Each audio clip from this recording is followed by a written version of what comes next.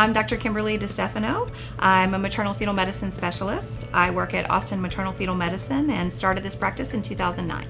We started off in one office on the campus of St. David's North Austin Medical Center. And over the past eight years, we've grown to have eight offices, not only in Austin, but in the greater Austin area, really trying to bring our services to the communities that need it the most. So the types of patients that come to see me um, might have issues with their own health. So they might have high blood pressure or diabetes. There might be a concern with the baby. They may have had an ultrasound in their OB's office and they saw something. Um, they might also be advanced maternal age where there's an increased risk for chromosome issues. And then there are a small subset that we just do their low risk scans, just looking head to toe at the baby to make sure everything is okay. So, you know, especially in, in this type of specialty where women are having complicated pregnancies, um, there's a lot of high emotion, there's a lot of anxiety and stress. And so I really wanted to focus on not only getting them through a healthy pregnancy, but really building a relationship.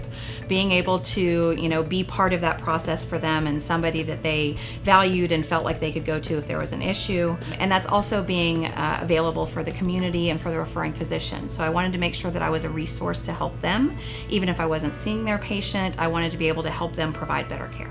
I want them to say that we felt like part of their family um, from the moment that they walk into the office, um, that the receptionist remembers their name and is helpful, that the nurses are available, that the physicians took the time to answer their questions and to make sure that they were satisfied and understood what was going on.